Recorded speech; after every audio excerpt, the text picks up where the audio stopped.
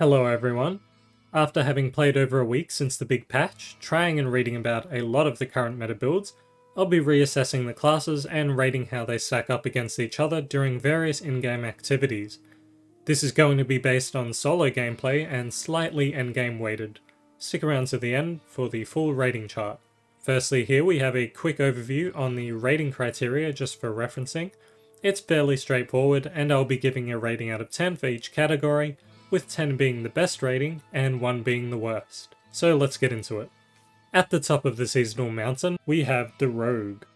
They still have great single target and AoE damage, good survivability, insane mobility, and they excel in all areas of the game, whether it's speed clearing, pushing, leveling, or fighting Uber Lilith, even without relying on the overprocking bursting venoms, you'll be just fine with the Rogue. They're also insanely fun to play, and have a wide variety of builds for leveling and for endgame as well, so you're not boxed into any one singular playstyle. The only downside I would say with the Rogue is they are definitely more mechanically difficult to play as some of the other classes, but it feels extremely rewarding to pull off and you'll have a great time doing it. As for the meta builds in Season 1 for leveling, you have Twisting Blades, Barrage, and Flurry. And for the endgame builds, you've got Twisting Blades and Barrage once more, but also a variant of Twisting Blades incorporating Death Trap. As for other options, there are Penetrating Shot builds and Rapid Fire builds that work as well. I just wouldn't rate them as highly as the Twisting Blades or Barrage builds. So next up on the list, I rate the Druid as rank number 2, but it's almost like 1A and 1B for me with the Rogue. Druids are still of course a powerhouse in the endgame, taking out the highest tier nightmare dungeons without much issue, even without bugged builds. They smash the overworld activities like Hell Tides and speed clear insanely quickly with Shred, and although their main build for Lilith will probably be getting looked at at some point by Blizzard, they'll still have not too bad of a time with her after that.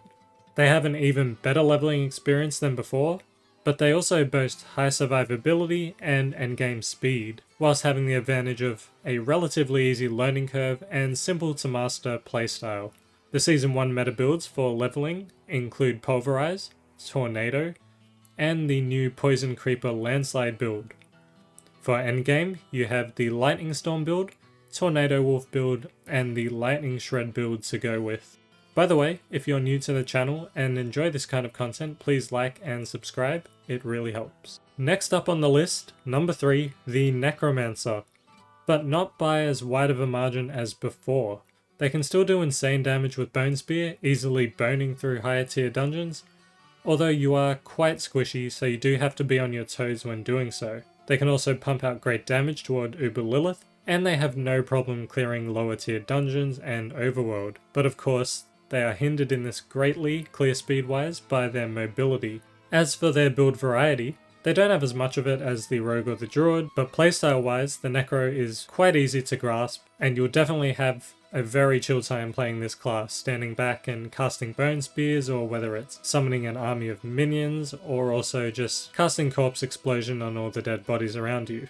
For Season 1, the meta builds for leveling up are Bone Spear, as well as Blight with Corpse Explosion, or a summoning build if you want to be really, really chill.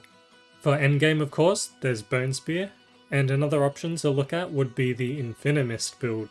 Next up after the Necro, coming in at rank 4, quite closely behind the Necro I would have to say, is the Barbarian. After some dark times, the Barb is doing not as badly as I suspected.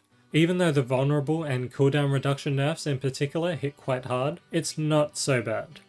You won't clear as fast as the Rogue or the Druid, but the Hammer of the Ancients and Whirlwind builds are doing okay after the Nightmare Dungeon nerfs. You do feel the armor reduction though quite a bit. As for variety in the builds, there isn't too much of it yet.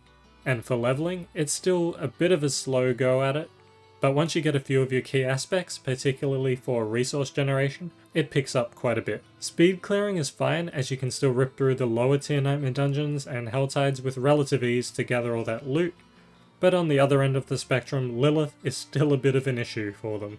As for ease of play, barbarians are definitely not too difficult, and they're also pretty forgiving with the amount of unstoppable and move speed you have to work with, especially getting into the higher levels, and as well as having the general tankiness built in from just the way you build in general.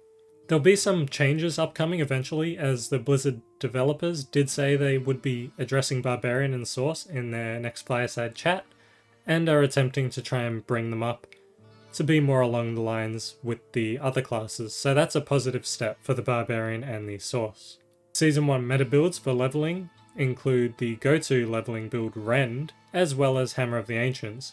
With some good aspects, Whirlwind also becomes viable. For endgame though, Hammer of the Ancients and Whirlwind still are the ways to go. Lastly, the Sorcerer. Getting a demotion from the previous iteration of my ratings, as the CDR nerf actually hit them a lot harder than I thought.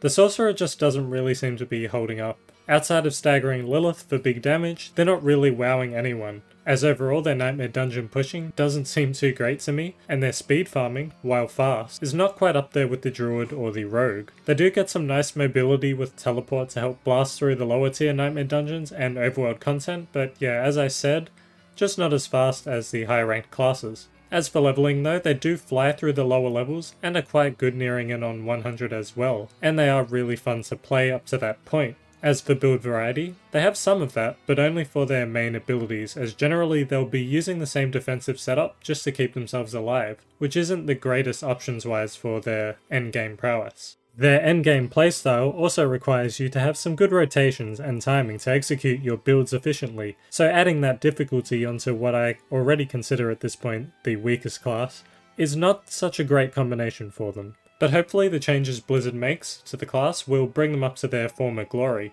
And also, since I didn't mention, they are insanely squishy as well, so be prepared to invulnerable anything as bullet hell will get you if you don't. The Season 1 meta builds for leveling your Sorcerer include Chain Lightning, Firewall, and Ice Shard builds.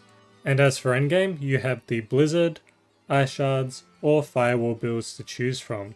There are a few others, but I would say that these are the main three at the moment. So that about wraps up the Season 1 tier list. Thanks for watching everyone. Here's a summary of the rankings. I doubt this is going to change too much outside of any insane patches, hotfixes, or unintended Malignant Heart interactions. I hope this helps in giving you a bit of easy to understand information if you're coming into the season, and deciding which class you'd want to play, or if you're just choosing another character to create. Leave a comment down below with your 1 to 5 rankings if you'd like, I would love to know, or with any suggestions for future videos. Like and subscribe if you enjoyed the video, and I'll see you in the next one. Bye!